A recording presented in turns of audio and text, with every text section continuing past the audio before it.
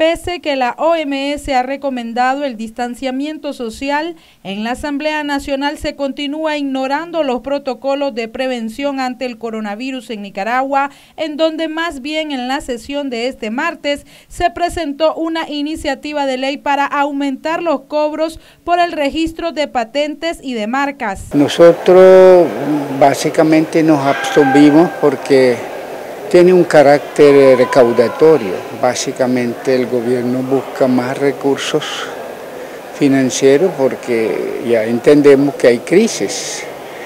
Em, las recaudaciones están muy por debajo y, no hay dinero eh, en manos de la gente y el gobierno lógicamente no puede recoger lo suficiente para cubrir todo el los gastos de funcionamiento de las instituciones, ¿verdad?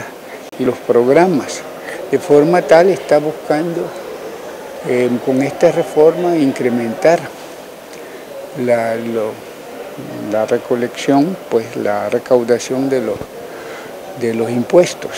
El diputado Brooklyn Rivera dijo que no hay voluntad para implementar ninguna acción legislativa para brindar medidas sanitarias a la población. Eh, como asamblea también nosotros involucrar como em, emitir algunas disposiciones que ayudan a proteger a los nicaragüenses, la vida de los nicaragüenses. Pero aquí se hace el oído sordo, no quieren oír, eh, más bien declaró que estaba fuera de orden y que no debía seguir hablando, entonces con eso se levantaron pues los otros eh, diputados de la población, que a quien debemos y esperan de nosotros pues que algunas em, acciones legislativas que venga a, por ejemplo, disponer de algún fondo eh, puede emitir alguna iniciativa de ley que diga que 1% del presupuesto nacional sea destinado